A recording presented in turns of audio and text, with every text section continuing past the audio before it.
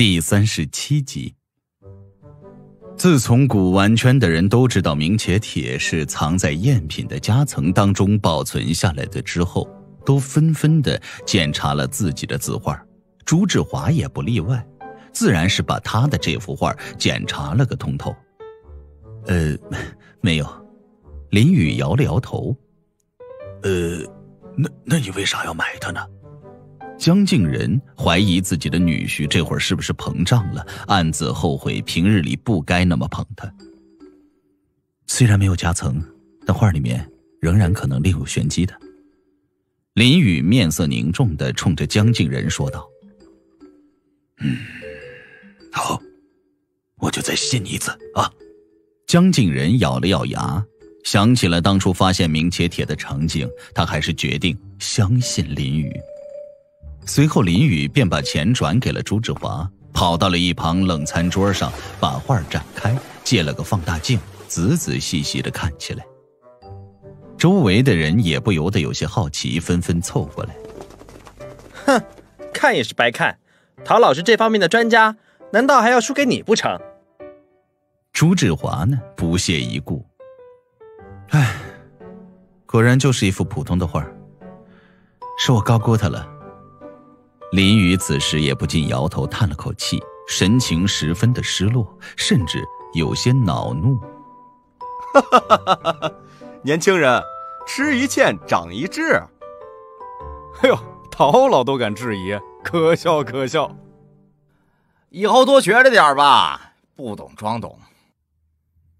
众人只感觉到心里畅快无比，纷纷出言奚落：“叫你不听劝是吧？活该！”陶老也不由得挺起了胸膛，在这字画界里，自己还真没输给过谁。五十万呢，春培呀！哎呀，江静仁心疼的一把捂住了胸口，欲哭无泪。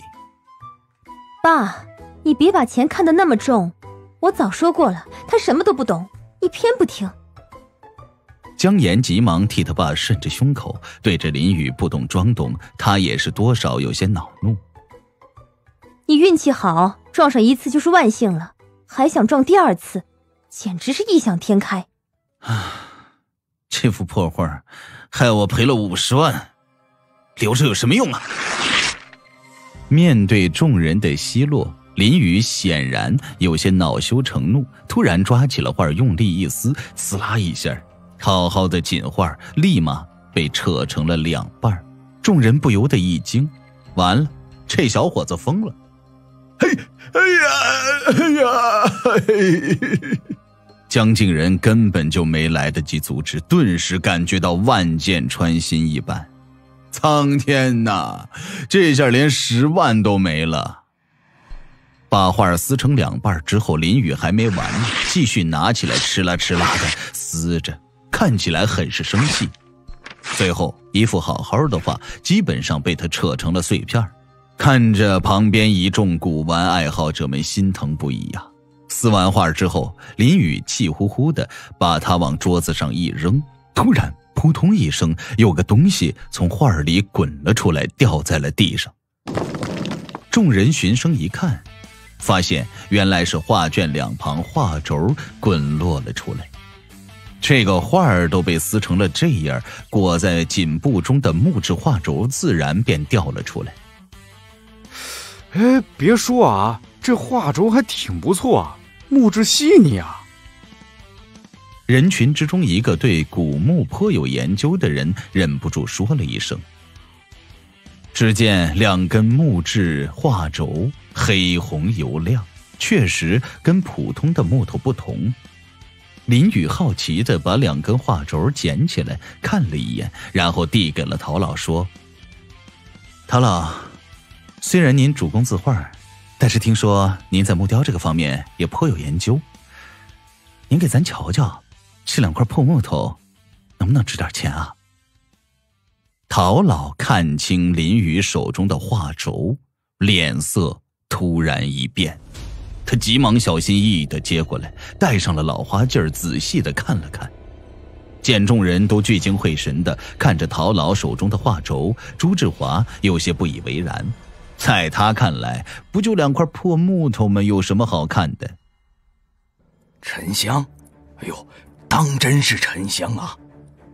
审视了半天的陶老突然发出了一声惊叹：“什么沉香？”周围众人也是不由得一惊。要知道，沉香可是一种极其贵重的木材。在古代号称一木万金，在现代那就更是贵得不得了。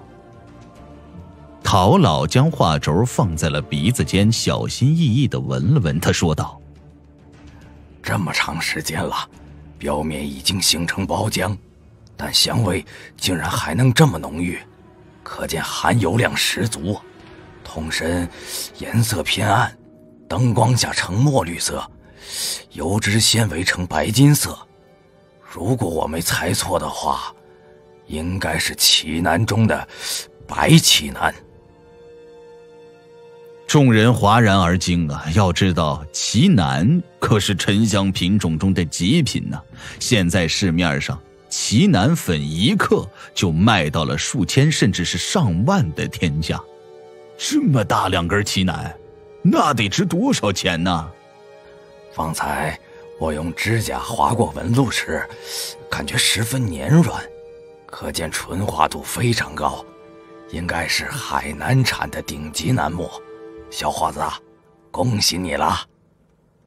陶老笑眯眯的看着林雨，将手里的画轴递还给他。奇楠是古代皇室专用的香料。既然这幅画是皇室的人所作，用奇楠木做画轴倒也是正常。只不过画轴被裹缝在了棉布当中，不把画撕了，他还真的是发现不了。所以林雨这也是因祸得福了。真是傻人有傻福啊！哎，哎呀，早知道我也抢着买了呀，六百万我也得买呀！得了吧。你就没那个命？人群当中不少红了眼睛的也纷纷叹息：自己咋没这运气呢？原本心疼的坐在椅子上的江静仁一听这话，猛地站起了身，快步走了过去，看着那两根画轴，仔细的看了看，激动的说道：“陶陶老，您您确定吗？这真的是奇楠木？”陶老点头笑了笑。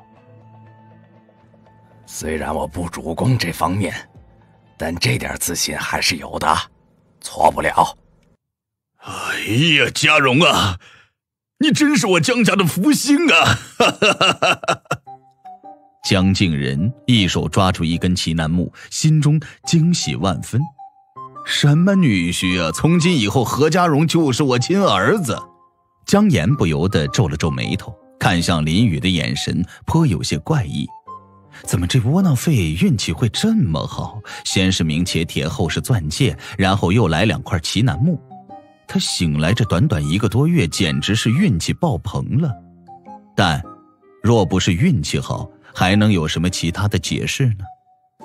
江岩叹了口气，心想：果然是大难不死，必有后福。而躲在人群当中的朱志华却是一脸快哭出来的表情了。我怎么就看不到那两块画轴啊？结果让林雨占了这么大的便宜，六十万眨眼功夫翻成了天价。这要是传出去，那指不定自己便变成了古玩圈的笑话了。想到这儿，他再没敢多待，趁人没注意，灰溜溜的走了。嘉荣。你这两个奇楠卖给我吧。周晨听到这边的动静，急忙挤过来，看了一眼江景仁手里的奇楠木，一脸迫切。这两根木头要是交给他，价格起码能炒翻一倍。本集故事播讲完毕，请您继续收听下一集。